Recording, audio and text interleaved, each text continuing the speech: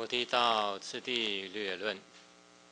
诸位法师慈悲，诸位同学阿弥陀佛。阿弥陀佛。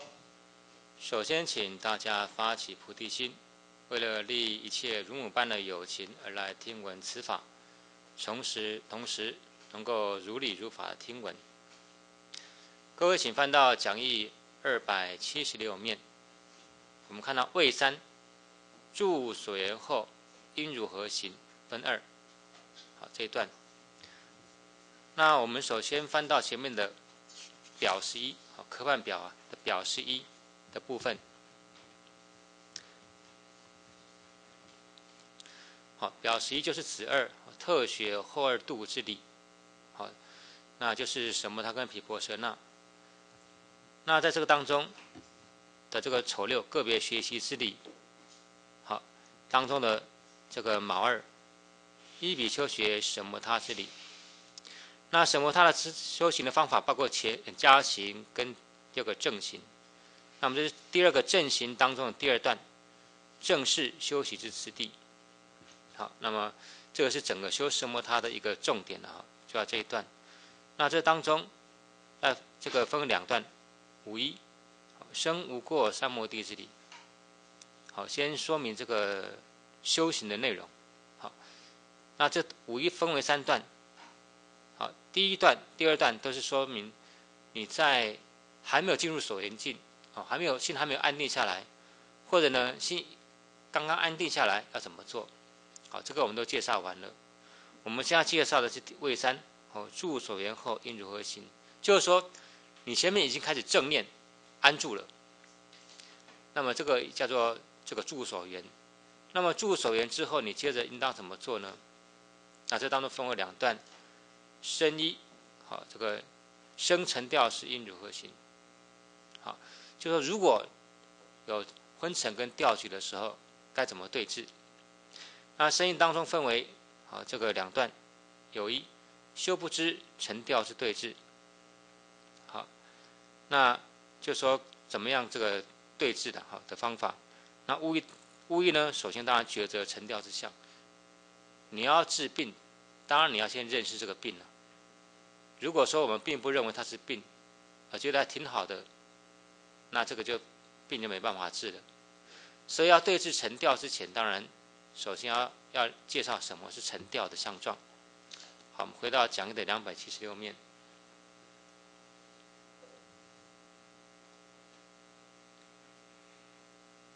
那这个当中，好，无一抉择沉调之相分为两段。第一段抉择沉调的定义，好，那第二个呢，好，这个这个抉择沉调的定义当中啊，啊，第一个第一个是抉择调取的定义，呃，第二个抉择沉默的定义。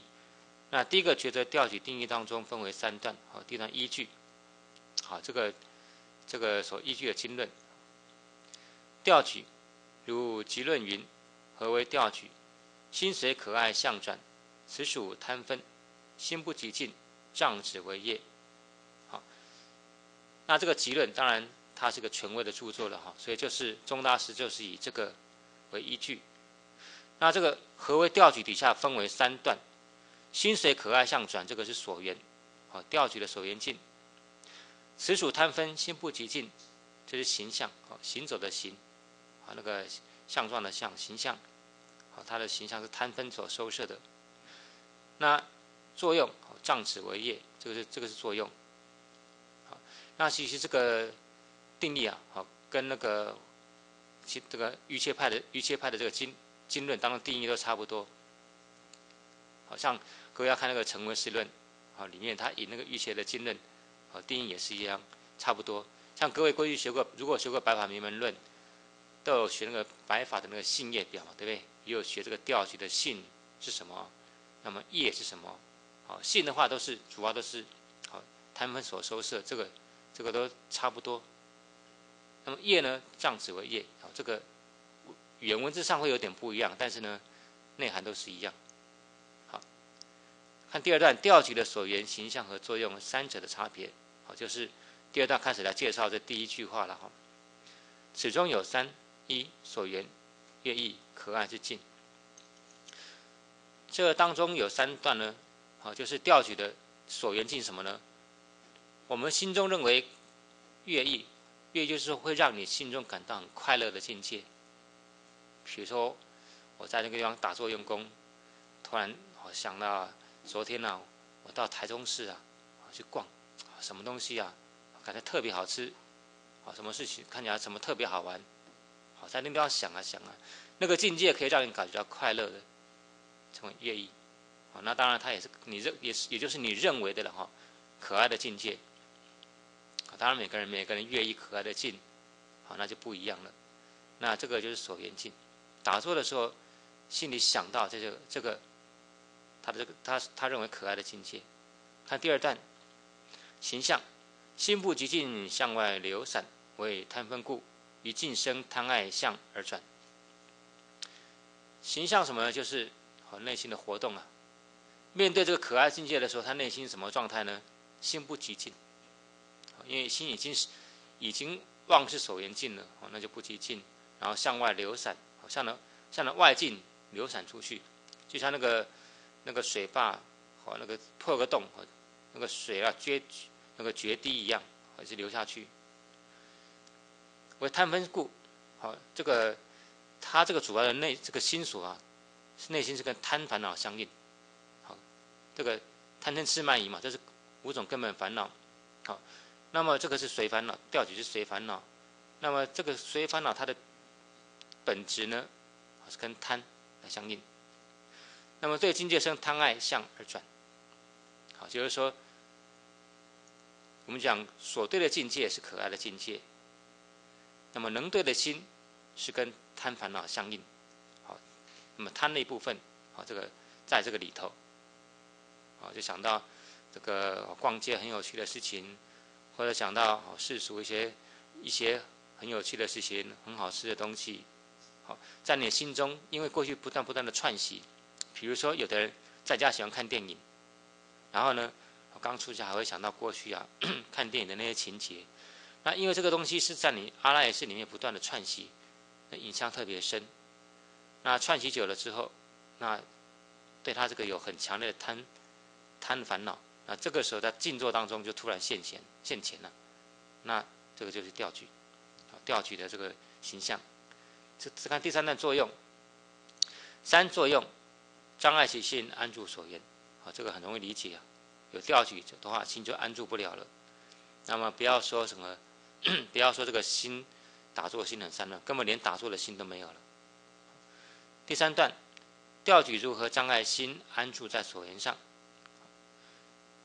心住内所缘时，由贪色声等之调举，内心无法自主，于彼等境牵引其心，使其散乱。好，这个等于是钟大师的再进一步的这个详细的描述了。怎么样障碍的过程呢？就是心，你原本安住在内所缘境，好，内在的所缘境，比如说你心中的佛号。这是你心内的所缘境。你本来心是安住在心内的这个佛号所缘境的时候，因为贪爱过去所串习的，好色声等等的可爱的境界，好的这种调举，因此之故呢，让心无法自主，好那个内心呢跟贪烦恼相应，所以控制不住。那么与彼等境，彼等性指的就是那些可爱的境界，好那些可那些可爱的境界怎么样呢？牵引其心。他的心被一些可爱的境界牵过去了，那么使其散乱，使这个内心散乱。好，那这个这个文也很容易理解。那底下再引一段文，好，来证明。如赞如忏赞云：如愿生母他，令心住于彼，或所令离彼，为贪尽生迁。好，那么在这个古代有位越居士。他所做的这个忏赞里面，他说啊，如缘什么他，这个如的话就是，好可以说如的，好如的随顺哈，随顺的经论，或者随顺的师长的教授，好而来缘，好来缘这缘这个什么他的境界，好这个叫如缘什么他，好如比如如的山如与经论的教授而来缘什么他，然后呢这时候令心处于彼。使令我们的心安住在彼所缘境。好，这是修什么他的境界？好，一的一的教授，然后呢，将我们的心安住在这个教授当中所指引的生摩他的境界。但是呢，惑所令离彼，啊，这个当中会常常常常会有种种的烦恼的绳索，啊，这祸所就烦恼的绳索啊，把我们拉离开啊这个所缘境，啊为贪尽绳牵，在这些祸所啊烦恼的这个绳索当中，其实最主要的还是以调举的这种祸索，这种烦恼绳索啊最多，啊，就说所谓祸所令你比为贪尽绳牵，它意思就是说，我们在静坐当中会有很多的烦恼牵引我们，啊，令我们心流散，而这个流散当中最主要的这个力量啊，还是调举为主。这句话什么意思呢？我们都知道，在这个各位要学过《白法名门论》的哈，各位都学过，有这个散乱呐，调举啊，不正知啊，好等等，很多。很类似的、类似的这种形象啊，类似的这种向外流散的形象，好思思念啊，或者不正知，啊这些种种这种这种形象啊。那么这当中，这个我们先讲这个散乱跟调举的差别。那么散乱跟调举，我们各位各位要学过《白法名人名门论》哈，可能各位都学过哈。好，散乱跟调举，好，那么散乱是好这个一心多境，那么调举是一境多心，好，这个各位都学过。那是，那我们现在才，我们现在再从另外一个另外一个角度来做来做这个这个差别的介绍啊。这个这个调举的话呢，它的本质是跟贪烦恼相应，比如贪爱饮食，啊，贪爱啊男女色五欲等等的。那么在这个境界上，好不断不断的这个这个这个流散，好，这个这个叫调举。那么散乱的话呢，它的本质不一定是贪贪的境界。比如说，我现在本来在念佛，念了半，突然想到观音菩萨，啊，然后再过一会儿，然后又想到地藏菩萨，然后又想想，然后想想又想到，哎，我要去助念。你想的你想的事情，可能也是一个善念，但是呢，它不是你的所缘境，所以叫做散乱。好。那么还有我们刚才讲那个，刚刚讲的这个思念呐，哈，不正治等等的这些，我们就不一一介绍了。那为什么我们要介绍这个散乱啊，跟调取这些的差别呢？就是说，在我们心所有向外散动、流散的心当中，其实最主要的还是以为贪为贪尽神牵，最主要的还是调取。就是说。我们讲的简单点，就是说我们在打坐的用功的时候，或者我早晚课的时候的时候打妄想啊。那么一般会牵引我们的心比较厉害的，就是我们所贪着的境界。那么使我们在这一境多心，在这个境界上啊，不断不断的去攀援。啊，比如说在打坐的时候，突然想到一个什么很很有趣的事情，好是，那么想着想着，甚至以前我们的佛学院有的同学啊。想着想着，在在这边打妄想，想到这个面带微笑，啊，这个很快乐的样子。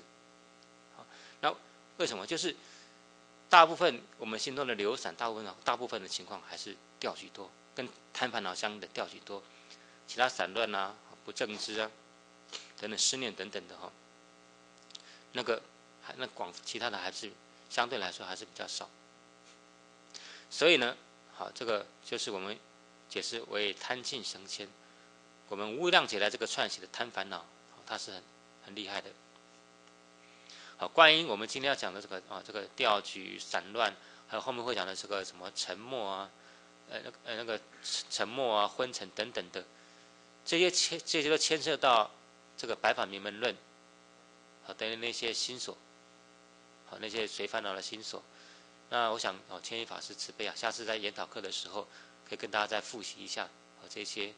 相应的，啊，这些相应的心所，包括哦，这是这是负面的，包括《白法明白法明门论》里面有一些，哦，像跟善功德有关的，啊，这个行舍啊，好，像这个跟禅定呢有关的这些的心所，也顺便跟大家介绍一下，因为我们在在这个这个广论当中，他会常常用到哦这些这些心所，我会会介绍啊。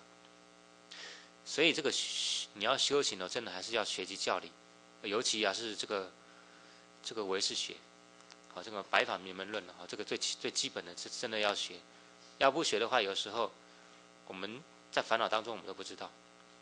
好，接着看到第二段抉择沉默的定义，分为五五种。好，那第一个是抉择调举，啊调举就是心呢跟贪烦恼相应，好，活动太厉害了，躁动不安。第二个，我们现在要抉择是相反的，沉默，心态沉寂了，那么的的情况，那沉默实际上有分粗细的差别了哈，那么我们再一一介绍，定义分五，第一段，反而沉默和昏沉混为一谈，这与经典相违背。好，我们会觉得，哎，这个心很沉默，那么这它就是昏沉，那么所以就是说。我认为，我要是没有昏沉，好，我心很清楚。我要我要是没有昏沉，那么我的心就是跟正念，就是跟禅定相应。那事实上不是，没有昏沉，有可能还会有沉默。好，所以一般的人呢，这个是中大师的大智慧，他把那个沉默跟昏沉把它分别出来。有人以为没有没有昏沉就是正确的，其实不是，没有昏沉，事实上还还有个沉默，还有个沉默在。好，我们看这个文，沉默，诸印文中一以退没，于此有人承许安住一境，不转于处，心不明成之昏沉为沉默，不合道理。好，沉默呢，在这个这个翻译从印度翻译的到那个藏文，好的这译文当中啊，那么有人翻译成那个退没，好，就是说不管藏译中译，有时候都翻译成。有时候翻译成成退没或者沉默，好，那么这样的翻译都有的，好，不过这个地方他倒是没有，钟大师倒是没有进一步讲这个沉默跟退默两个有什么差别，但到后面的时候，后面的略略后面的文呢，会再分别一下，这两个还是不太一样，有点微细的差别，啊，当然我们慢慢讲哈，先先。先不讲那么细，先讲沉默就好了。好，先不说退默。沉默呢，那么于此有人承许，承许就是有人认为了，好，有人定义，有人认为，当你安心安住在所缘境，而不而不散于处，那么这个时候心，但是呢，这个心中哦不明成的这个沉的昏沉为沉默，好，那么这个事情是不合道理的。就说啊，有的人把这个这个昏沉，好，他就说有人把昏沉定义成呃，有应该有人把沉默定义成昏沉，就说这个有人有人有人以为什么是沉默呢？就是你的所缘境已经模糊不清了，啊，甚至已经这个快没有了，就不明沉的昏沉，他以为这个是沉默，其实不是的，那个是叫昏沉。好，但是在昏沉之在昏沉之前。还有一个比较浅的状态，他手缘境还手缘境也还在，好，并没有到昏沉的情况，手缘境还在，但它是沉默，所以你不能把昏沉啊那个定义成沉默，好，因为你要定义把昏沉定义成沉默的时候，你就没有办法分别这两个的差别，你有可能就会在沉默当中而不自知，好，那所以说这个事情呢，哈是不合道理，也就是说。昏沉是一个心锁，沉默是另外一个心锁，这两个是不一样的，要分清楚。下一段，因于修持中篇与解生命中解生密经中说，从昏沉生沉默。好，在这个修持中篇，好，这个是藏传的这个经论的哈，还有解生密经，我们汉地也有，当中都有说啊，由昏沉而生沉默，也就是说。昏沉是个因，那么会升起沉默的这个果，这之间呢实际上是有它的因果的关系的。那怎么说呢？我们先讲昏沉，昏沉好，我们就根据那个欲切的论点哈来定，就是说身心粗重啊，无堪能没有堪能性，好，就像那个老人家，他这个手很没有力量啊，啊，他拿这个杯子啊，或拿重点东西拿不起来。好，这个这个叫做没有堪能性。那我们的心，好，因为这个很出众，好，好，可能身心种种原因呢不调了哈，身心的出众，使得这个内心的堪能性很差，所以这个锁缘镜抓已经抓不牢了，这个叫昏沉。好，那么当你锁缘镜抓不牢的时候，这个情况如果比较浅的话，就变成沉默。所以也就是说，为什么昏沉？为为什么说昏沉生沉默？就是这个道理。就是你昏沉，因为你是说维系的昏沉的哈，你一点点很维系的昏沉，你不知道你的锁缘镜，你你对锁缘镜直视力已经不是已经没有百分百了，但是你没有警觉性，那么这因为这个因为这个因，所以当然就会感应到沉默的啊这个心对于锁眼镜呢不是很清楚，但是我们要知道沉默跟昏沉不同，昏沉也是锁眼镜不清楚，沉默也是锁眼镜不清楚。但是呢，程度上不一样。啊，沉默的时候，你锁眼镜还在哦，而且可以说可以说可以说还有六七六六七成的还还在的。但是呢，已经支持力比较弱了。那当然，如果锁眼镜已经灰蒙蒙一片的时候，那就是真的是严严重的粗重的昏沉了。好，所以这个昏沉生沉默这个道理，也就是说，当你的心支持力不够的时候，你就会身体沉默。好所以有这个有这样的因果的这个关系。下一段，即论虽与说随烦恼是散乱时，论及沉默。然而彼处所说散乱亦有善善性，故非定为烦恼之相。在集论里面呢，在介绍这个随烦恼的散乱的这个相状的时候，好，那么介绍这个随烦恼散乱这个这个相状的时候，也有谈有也有顺便谈到这个沉默。好，然后等于说这个沉默是属于散乱的一部分。不过我看这昂旺朗吉的刊布的注解，他说这个地方所说的散乱，啊，并不单只是，并不单只是那个白法名门论当中那个散乱的心所。好，好，并这个好，不过这个就是说这个我们在在先不说那么细了哈，就是说心心往外流散的时候，这种散乱，那么沉默，那么散乱也有善性。我们刚刚讲嘛，什么叫散乱也有善性？我心在念佛的时候，我突然想到，哎，我待会要去大寮工作了，啊，然后想突然想到大寮工作，或者我心在念佛的时候，突然想到说，哎，我那个我待会念完佛之后，我要去阅读什么经典？那你想到大寮工作，为公为众，或者呢，你想到待会要去阅读什么经典，这个本身还是善性的，啊，不像调举。调举，所谓调举的话，它的本质就是贪烦恼。我想到一些可爱的啊、无意的境界，那就纯粹是贪烦恼了。而散乱，只是说散到所缘境以外的境界，有可能还是善念。好，所以散散乱呢，亦有亦有善性。好，那么说，所以说散乱亦有善性，什么意思呢？就是说，沉默跟跟散乱一样。好，那么它有善性，有可能是善性，有可能是无记性。是，就是说，他这个在锁眼镜的这个支持力啊，啊，已经不是很清楚了。那么，但是呢，这个时候有可能还是有善性的，因为他锁眼镜啊多少还在，所以还是有善性的。那么，或者是或者呢，再严重了，沉默就是沉默是无记性。那昏沉呢是跟不这个不善的心所跟无记相应的。好，这个我们要检测。两个心中可能都会带有带有一一部分无记，一部分无记的心所。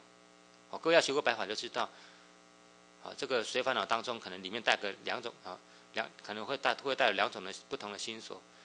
像昏沉跟这个沉默跟昏沉都带着无记的心所，但是差别在哪里呢？沉默它是带着善跟无记，那么昏沉是带不善跟无记的心所。所以呢，这个也就是说。从这个从从另外一个角度来说啊，昏沉跟沉默是不一样的。昏沉是带不善心所的无记，那么那么那个沉默是带善善心所的无记，那不太，那这两个不一样。而且我刚刚讲还有因果关系，因为昏沉而升起这个这个而升起这个沉默。好，所以也就是说，这个段的总结就是沉默跟昏沉是两个不同的心所，不要混为一谈。不要混为一谈的时候，你没有昏沉，并不代表你就没有沉默，要搞清楚。好，我们看第二段，介绍昏沉与沉默的不同及其依据。好，刚才是说跟经典相相违背的哈，解生密经啊、奇论等等的，好这些菩萨所造的论点相相违背。好，那接着开，再再进一步介绍这两个差别。昏沉，奇论及巨蛇论是云，是愚痴分，令其身心沉重，无堪能性。好，先介绍昏沉。根据局局论或者巨蛇论是，啊，说它的本质啊是愚痴的一分。好，所以我们刚讲是昏沉的本质是不善的，不善跟无忌嘛。好，各位看那个《白法明门论》的性业表都知道。好，那么昏沉的一部分，它有愚痴的一分呢。那么令他令有修行人的身心沉重，无堪能性。所以堪能性就是说，他能够随心所欲的去做他想做的事情，叫堪能性。比如说我现在上课，我能够专心的听法师讲法，当中没有任何的散乱，没有任何的没有任何的这个散乱啊昏沉，那么这个叫堪能性。好，就一个人就像一个人很有力很有力量，就叫堪能性。那昏沉的时候，就昏沉的这个本质呢，就是失去堪能性。好，这是第一个昏沉。好，所以它然后它本身本质是本质呢是愚痴的，带有愚痴的一分，好痴心所的一分。所以为什么？为什么打坐啊？前面有讲到这个打打坐，老是这样，老是这样昏昏沉沉的，到最后越做越越愚痴啊！啊，有的人这个，你看他整天他他整天用功，但这个人好像越来越越来越钝，啊，突然越来越钝。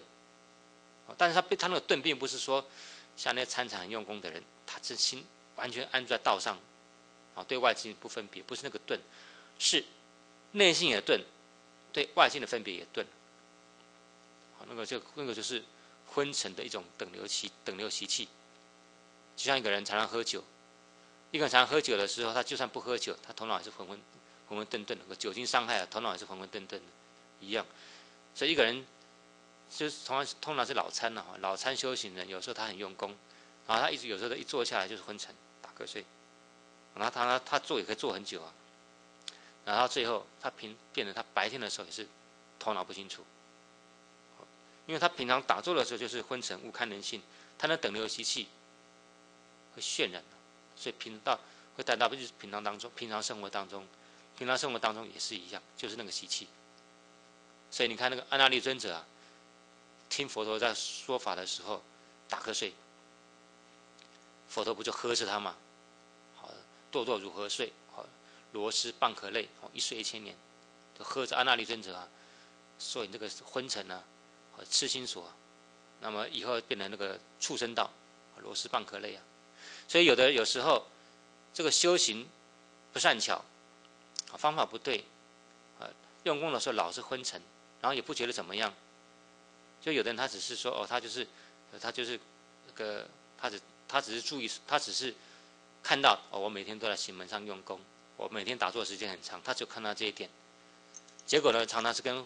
痴心所昏沉的这种痴心所相应的时候，他有时候修就可能下辈子变变畜生道，哦，因为是愚痴跟无忌的一分呢，昏沉了。好，这这这个是昏沉是特别明显的，我们比较容易了解的啊，就就是那个就是那个所缘境已经很不所缘境已经不清楚了，无堪能性。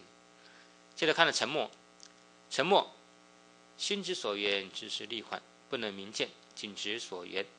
是故虽有成分，然之所愿不甚明晰，即是沉默。沉默什么呢？心直持这个所缘境的时候，知是力缓。哦，这个重点是这个力缓哦，还没有说像那个昏沉那么严重，只是力比较比较缓，但是还在哦。所以呢，不能够明见，仅之所缘。明见就是说，他那个明分有，这个我们要我们要。我们要知道个一个关键，就是沉这个沉默的时候还是有民分的，但是已经没有很没有说百分百的民分了，可能只有六七成的民分，好，不是很强的民分了，所以叫不能明见。那不能仅执所言，这个是助分，因为你没有民分，相相对助分也也差了些。好，这个但这个只是力缓哦，我们要强调好，所以事故是有成分，成分就是说这个这个新的成净。新的成新的成境，所以能够明了明明了照见，啊，所以这个也是明分哈。虽然虽然有一部分的明分，然之所言不是明晰。好，那么这个是沉默。那么这个地方所介绍的，我刚我们刚刚念的这段是属于这个细分的，好，这个是属于这个细的，啊，细的沉默。好，那那后面大家会介绍那个初的沉默，初的沉默是它的明分几乎是没有了，那个叫初的沉默。好看下一段，修饰中篇云：若是如盲，或是有人入暗室中，或如闭目，其心不能明见所言，而是因之，以生沉默。未见于大论中明说沉默之相。好，那这个地方我看那个日中仁波切注解，他说这个地方是在介绍初分的沉默。那么初分沉默就是我们刚才讲，他已经几乎不太有名分了，可能可能差一两成了哈。那么这个时候举三种譬喻来说明，如盲，像眼睛瞎掉了，哦看不见了；或者第二个譬喻，如有人入暗室中；第三个譬喻如闭目。好，那么但是底下重点，其心不能明见所缘，这个重点各位看到，不能明见，不是不见。要不见的话，就是昏沉了。好，比如念佛念念到最后，尿哪都不知道了，甚至再严重有的念到流口水了，好，那就昏沉了。好，那么这个在不能明见所言，这个这个不能明见的话，就是说，哦，这初，那么这叫沉默。那如果是初分的，我们初初分的沉默，可能只剩所缘境，可能只剩一两分了。那么细分有一点的细分的沉默，可能所缘境还有五六分。好，差不多这个意思。但是呢，在沉默当中都是一样，共同点，不管粗细的沉默都共同点，都是有助分，他心很安定。好，那么如果是昏沉的话，可能昏沉有时候连助分都没有了，啊，能因为那整个锁缘经都没有掉，那整个昏沉了，其实实力都没有看能性，那是昏沉。那么沉默是还有助分，好，这个点，这点，这点差别。好，所以未见于大论中明说沉默之相。那这个在很多的这个预期的论点当中，并没有很明显的说出把这个沉默这个相给标出来。但是事实上，虽然说经论当中没有明显的标，但是宗大师看到这个是修行人一个很大的问题，啊，老参修行人一个很大的问题。好，相信各位要是平常打坐，各位就知道，啊，这很容易很容易犯的。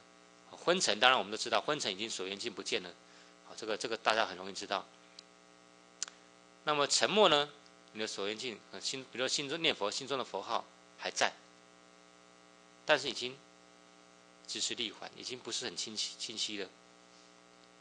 好，那么不能不清晰的程度，当然当然当然当然每个时候不一样，但这种这种情况却是我们常常会有的。好，那么这个这这个就是沉默。看第三段，不仅如此。沉默也有善法，所以昏沉不同。沉默中有善与无记二种，昏沉则是不善，有负无记任意，为之持分。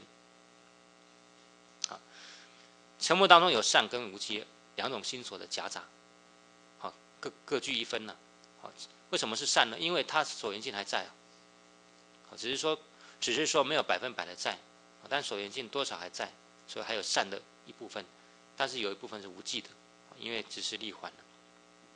而昏沉则是不善，那么它是属于有负无记，好的任意的，好，所以有负这个负就烦恼，好，那么这个烦恼就什么呢？这种烦恼会障碍圣道，所以叫有负，好，但是呢，因为这种烦恼本身是比较比较淡的，所以不会不会感召到好这种果报，所以称为无记，好，那么这个任意这个有负无记。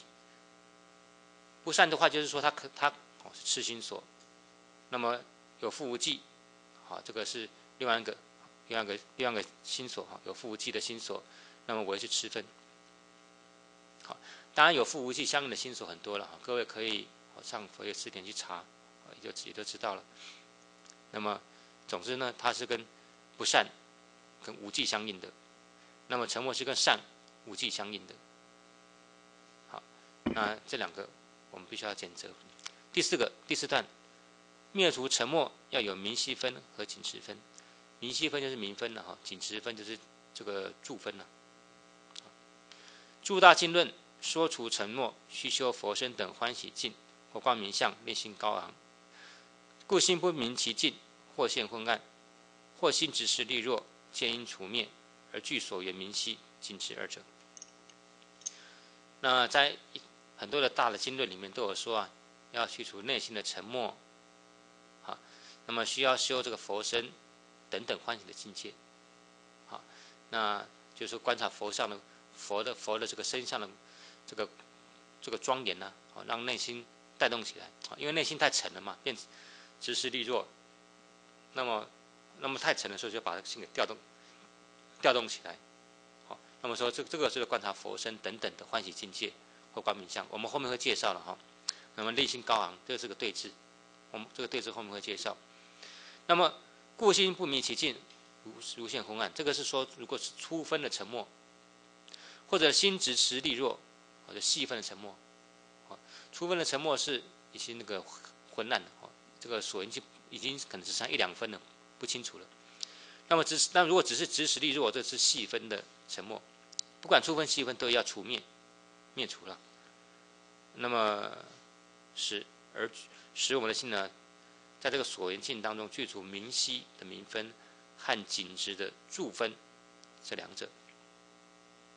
好，再看第五段，对于沉默容易产生误解，所以要依照修辞论来认识。好，调举一之，然于诸大可信经论皆为明说沉默。故难了解，然其重要，然其重要，因易误解，此为无过之三摩地。调举很容易了之，好，内心跟贪烦恼相应嘛，好，想的想的某一件，好，某一件这个内心所贪执的境界，啊，这个很容易了解，好，好，至少你事后能够知道，事后回忆一下，哦，我刚才是在调举，这个容易了解。然而呢，一切的。诸大可信的经论，所谓可信的经论，就是说这些，就是就是佛佛陀所说的这个经，或者大菩萨所造的这个论，啊，这是可信、可为依止的经论呢。好像弥勒菩萨造的论，五浊菩萨、天亲菩萨造的论，好等等的，都没有明说啊沉默这个相状，所以很难以了解。啊，确实是不容易了解。这个我看这个关于这个钟大师讲到这个沉默这段呢，我前前后后也看了好几次，也是不确实是很细。好，沉默跟昏沉，好，那么它的差别，我刚刚讲的，啊，在哪里？那么沉默还有这个粗的，还有细的，啊，这个差别。好，我们刚讲沉默跟昏沉嘛，主要沉默是善根无忌，啊，昏沉是不善无忌，这是一个。再呢，这个这个。就民分跟助分来说，这个沉默是民分跟助分都还在，昏沉可能民分跟珠分都不在了。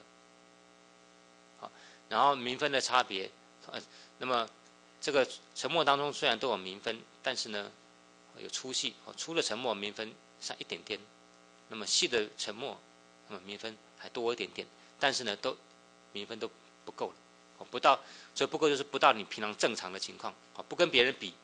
哦跟你平常过去正常、真正常情况来比，那么都都比不上。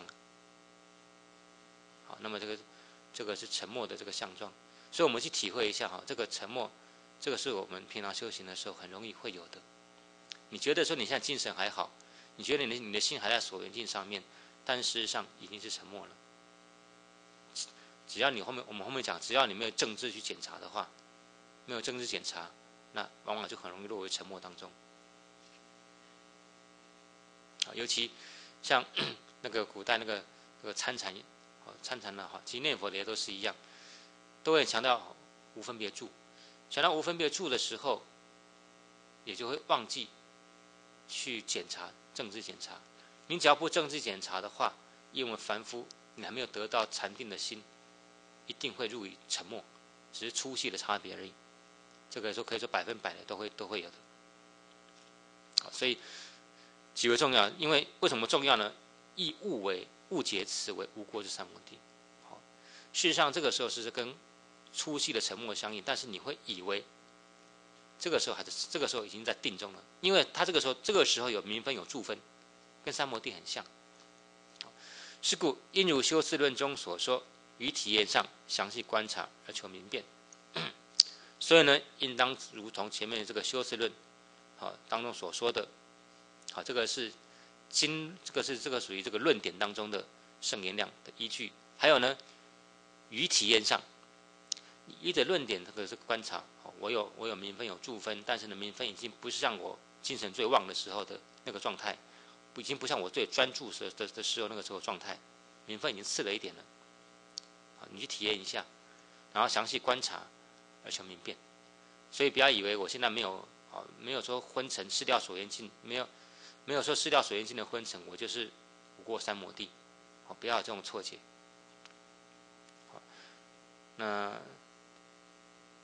看物耳与正修时生喜能知沉掉是正知法。这刚才是第一段嘛，抉择沉掉之相。哦，什么是沉默？什么是调举？它的相状你要先认识，而不是乌耳虚耳了。那个这个身有虚还是虚耳？好，我们先认识。调举很容易知道，但沉默我们刚刚讨论老半天，讨论一节这一节课啊，都要讲沉默这件事情。好，其实之前有讲，也讲又讲了一些。好，要先，所以要先认识，这个时候才谈到这个第二段的正修的时候。升起能够知道沉掉的正知法。好，先不说怎么对治，先说怎么样去知道，好，去去知道这个毛病的显现。当中分为五段，第一段要升起正知，了知是否升起沉掉。仅知沉掉尚为不足，蓄意修时升起正知，如实了知是否升起沉掉。仅知沉掉，就说你只是啊听我们上课讲。知道什么是昏沉，啊，什么是沉默，什么是调举，理论上知道，尚为不足。你理论知道了，你，你只是知道下课时候忘记了，也不也不也不也不在心中放在心中，那那没有用啊！你辈子就这样修行，就这样就这样下去了。需那怎么做呢？虚修时升起正知，要把它拿来用，把这个这个刚讲沉到沉掉的这个检查拿来用。就是，也就是升起这个正知的检查，然后来如实了知是否升起沉掉。好，如实的知道这个内心是否跟沉掉相应。又其具力正知，须见自身，故于生沉掉矣。随即升起明辨彼之正知，故不待言。正未升起而将生者，亦须升起能察彼之正知。具力的正知，正知有分等。分等级啊！哦，刚开始我们政治力量都是很薄弱的，但修行久了，这个力量就强调巨力的政治。这种有力量的政治呢，要渐次的升起。好，什么叫渐次升起？第一个呢，故于生沉掉矣，随即升起明辨彼之正知。好，就说你现在已经在沉沉掉了，已经在沉，已经在沉默或者调取当中，你看到你在沉默在调取了。你马上就能够，马上就能够明辨检查出来，好，那么这样的正知，固不待言。那当然了，那这个就不用说了。但这个还不叫做具力的正知。我们刚讲见见智生嘛，最剧烈见知是什么？底下所说的，进一步，众位升起而将生者，必须升起能察彼之正知。就像我们看到外面呢，这个这个水汽很重，哦，天上乌云密布，我们知道哦，快下雨了。你赶快收衣服、收棉被，这个就叫距离正知。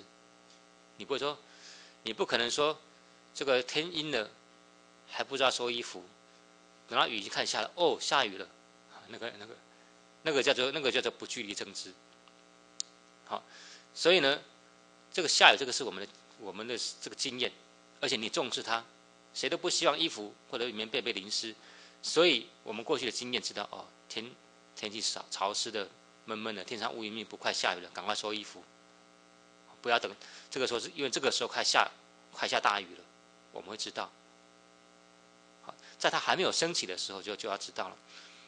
那么修行也是一样啊，你快要进入了，快要进入那个调局，快要进入沉默，他有个感觉，你感觉那个知识力已经不太稳定了，你要你要知道。好，这个当时当然这个东西当然你要去实践了，慢慢去去操作去感觉它。好，先下课。